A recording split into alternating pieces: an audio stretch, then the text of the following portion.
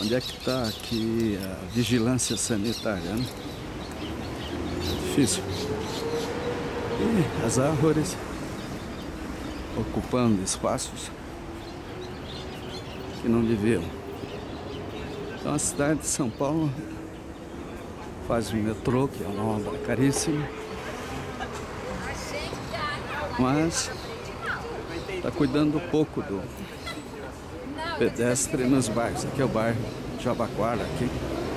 Eu estou indo para Reatec e a feira dedicada a pessoas com deficiência e ponto de embarque para quem não é cadeirante é lá na frente.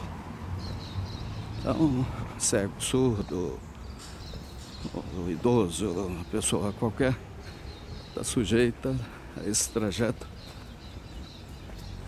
que é simplesmente inacreditável. Numa cidade com tantos engenheiros, arquitetos, urbanistas, veja ali, até o posto de fiscalização ocupa a cidade. Aqui um cachorro de guarda, quer dizer, um cego aqui pode enfiar a mão ali dentro. E aí, como é que fica? Então as cidades têm que ser coerentes.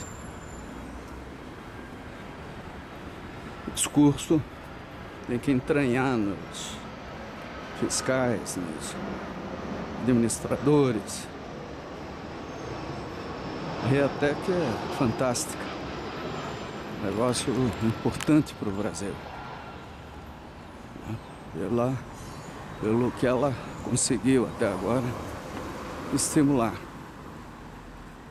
Mas o pavilhão já está saturado, tá longe do centro da cidade, em um lugar mais acessível. E a saída até os ônibus é simplesmente inacreditável.